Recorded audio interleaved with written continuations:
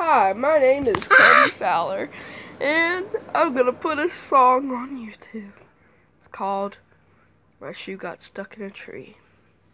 Oh, and um, in case you're wondering, yes, this really did happen. April seventh, 2017, sixth grade. All right, here we go. Three, two. My shoe got stuck in a tree. I don't know what happened to me. It just hopped right off of my feet and it landed in the top of the tree.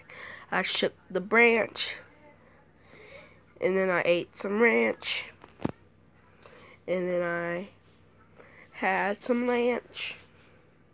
I have no idea what lunch is, and and I shook the branch to get it down. Eventually, it fell out, and then we all started laughing while I sing. My shoe got stuck in a tree. Hee hee.